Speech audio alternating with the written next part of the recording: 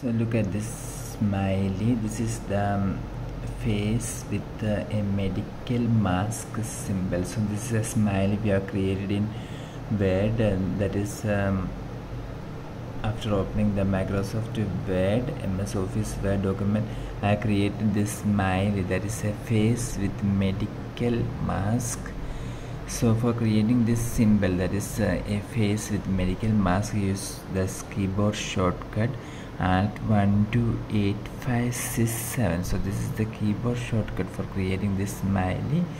Okay I'll show you how to create this uh, smiley. For doing this uh, you must um, go to your keyboard and this keyboard uh, if your number lock is off you must turn this on.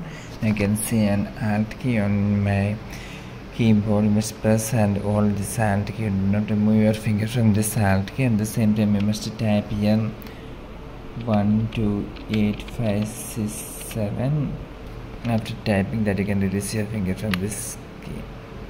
So you can see that symbol this smiley have been added for more videos. You can subscribe. Thank you